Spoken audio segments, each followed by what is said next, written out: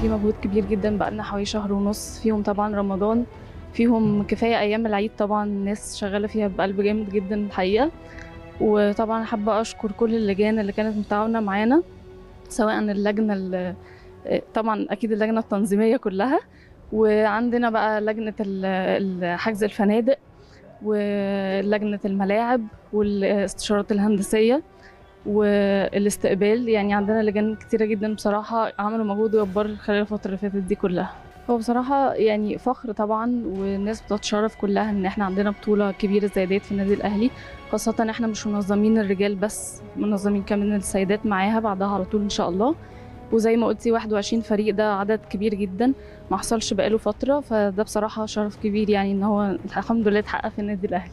والله يعني أكيد نفسي طبعا إن إحنا إن شاء الله نكسب البطولة وده مش حاجة جديدة على النادي الأهلي. وكمان المنافسة قوية جدا بقت في الدول الأفريقية. يعني ما بقاش في نادي أو اتنين بس الأقوياء لأ بقى في أندية كتيرة جدا قوية.